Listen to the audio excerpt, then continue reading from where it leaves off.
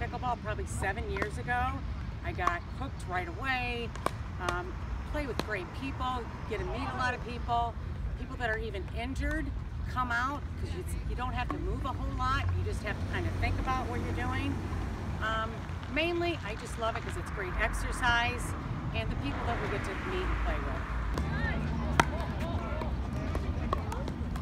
Pickleball has become one of the fastest growing sports in America. The Parks and Recreation Department provides courts for playing pickleball at the Northwest Recreation Center and at tennis courts in Beaver and Noelridge Parks. Courts can also be found outdoors and indoors in the Iowa City area.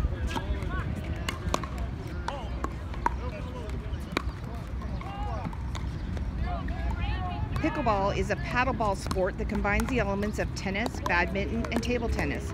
It was invented in the mid 1960s on a badminton court with ping pong paddles, a wiffle ball, and a lowered net to make it easier to volley.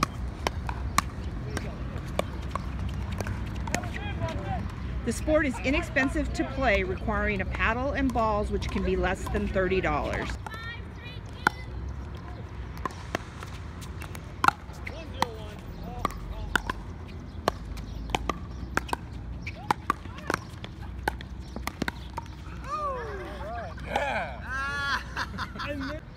Hi, I'm Jim Langhurst. I love pickleball, and the reason why is because it's great exercise. Anybody can be successful at it, and there's such a social interaction available to people. Great competition also.